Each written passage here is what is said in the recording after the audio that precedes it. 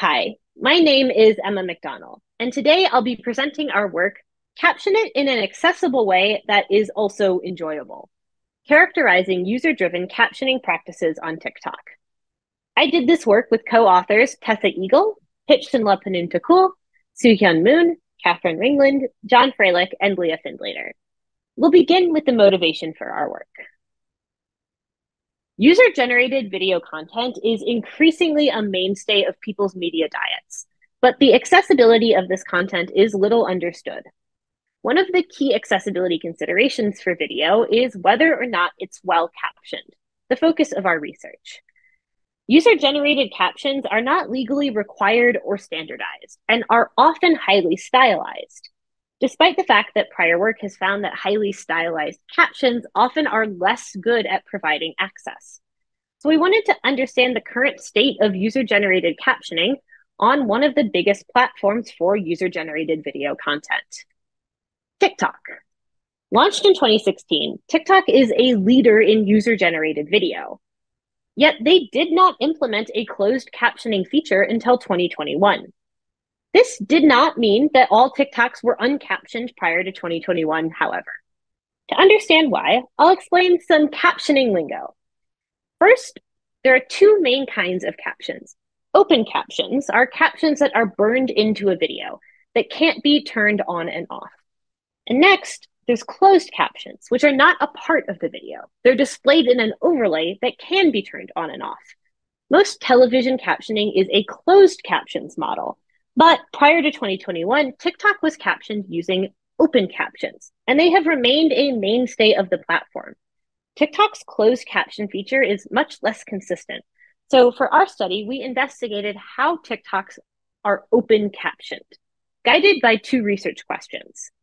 First, how is user generated captioning implemented on TikTok? And next, how do choices made in generating and placing captions impact TikTok users who need captions to meet a deafness or disability related access need? To answer these questions, we ran a two phase study a content analysis followed by an interview study.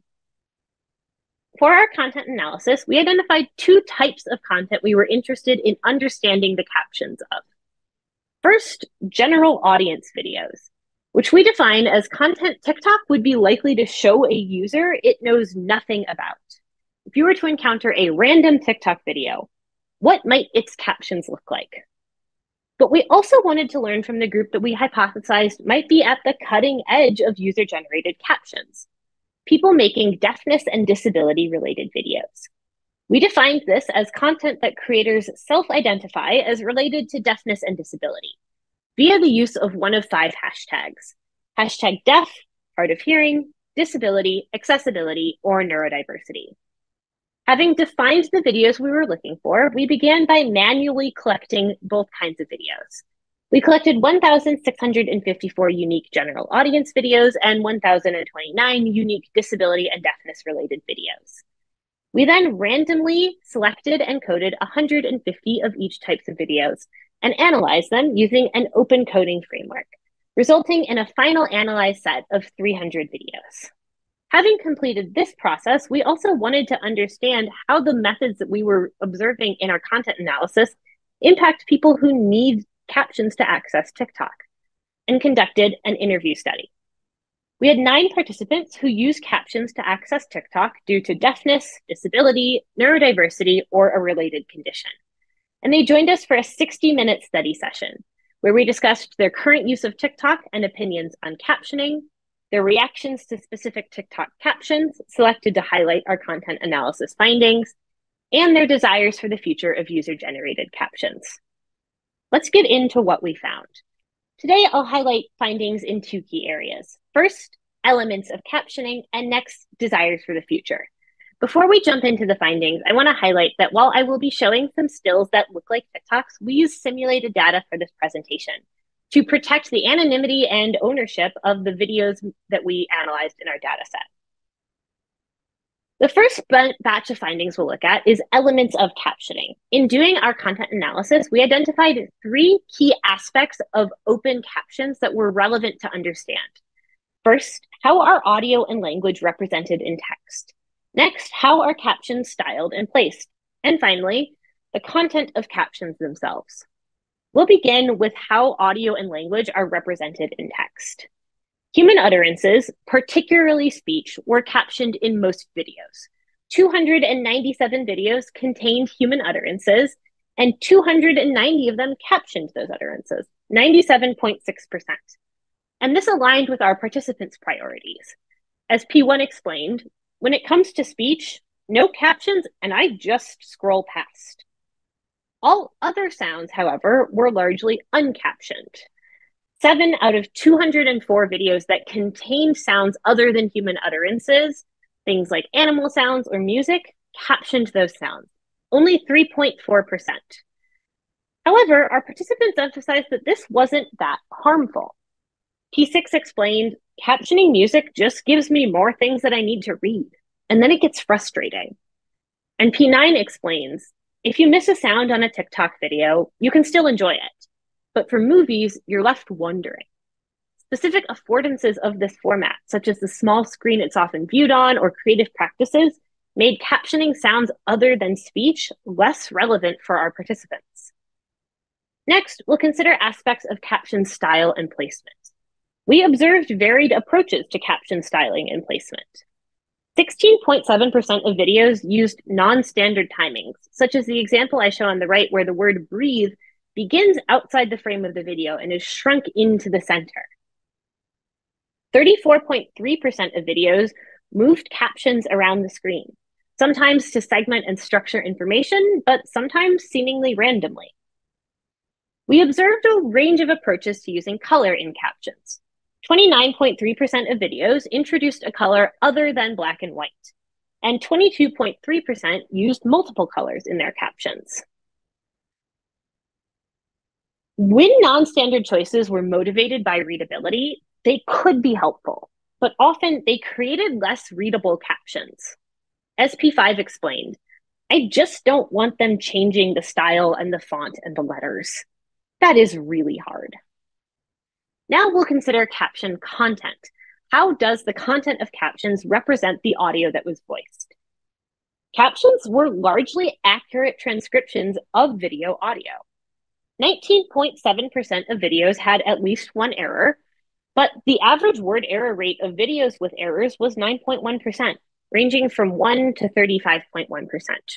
Traditionally, high error rates have been the biggest barrier to captioning users accessing user generated captions, and it does seem that TikTok has finally seen a breakthrough in the accuracy level of user generated captions. We did, however, observe specific instances where captions were deliberately incorrect. Specific forms of deliberate non verbatim captioning can be necessary on algorithmically censored platforms.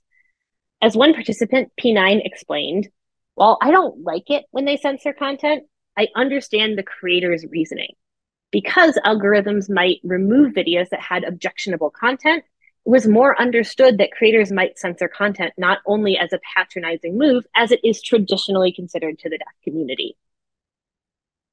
We'll now discuss participants' desires for the future of user generated captioning.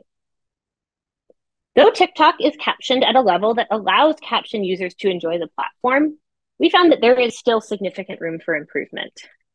As P3 put it, I think people are so much better at captioning their videos, but they're still learning to caption it in an accessible way that is also enjoyable. The lack of a standard for user generated captions is felt by caption users. P2 explained when it comes to the captioning industry, there are rules, there are standards, and they know what they are. But TikTok, it's wide open, anything goes. It's an open source. Participants hoped that platforms should embed captioning guidance into their interfaces to improve the quality of videos. As P7 imagined, whenever they're posting something, they can have a prompt. Do you want to caption the video or benefits of captioning? We'll now wrap up with some key takeaways from this work. First, thinking about how we can move toward a user generated captioning standard.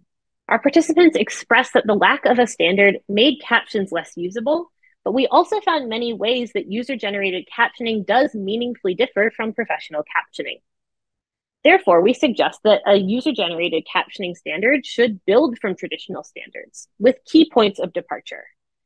Namely, loosen standards for formal mechanics of grammar, language, and punctuation, as they don't match the tone of the platform. Next, while a standard should prioritize readability when selecting caption colors, creators could use a wider range of colors than white on a translucent black background. Next, music and background sounds should be captioned sparingly, prioritizing sounds that contribute to video understanding. And finally, non-verbatim or censored captions should be considered in the context of platform censorship and shadow banning practices. It's not realistic to insist that captions be verbatim on a platform that would censor videos based on the content of their captions. Finally, I want to reflect on collective access in action. Disability justice activists highlight that access needs can be articulated and met privately through a collective or in community, what they term collective access. And we see on platforms like TikTok that non disabled people can and will take part in making content more accessible. Future work should investigate what drives creators to caption videos and how that could be translated into digi- other digital accessibility efforts imagining a future of digital accessibility that engages all internet users. I want to once again thank my collaborators as well as our funding sources that made this work possible. And thank you for your time and attention.